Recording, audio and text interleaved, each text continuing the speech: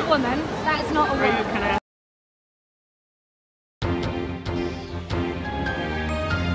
I'm a woman, that's not a woman. Activist gets into poolside argument with woke spectator after Lia Thomas was crowned 500 yard NCAA champion. Lia Thomas, 22, came fifth in the 200 yard freestyle on Friday night at the NCAA competition a day after becoming the first transgender NCAA champion. You're saying you think that his body is the same as the other girls in the pool?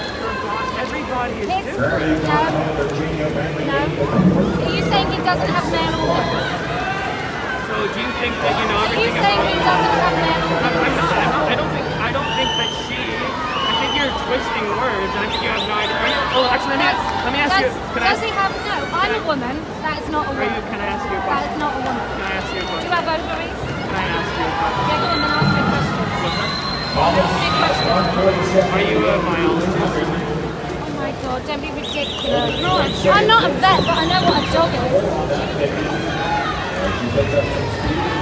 Do you rely on stupid arguments because you don't have an argument? No, I have arguments. If you let me speak, we can talk about it. I'm not an astrophysicist, but I know what space is. Yeah, but that doesn't mean you know how space works. I'm happy to have a real conversation with you if you'd like. If you want to have a conversation, If you don't think this is going to destroy women's sports, if this is alright with you, then then I'm sorry, but insane.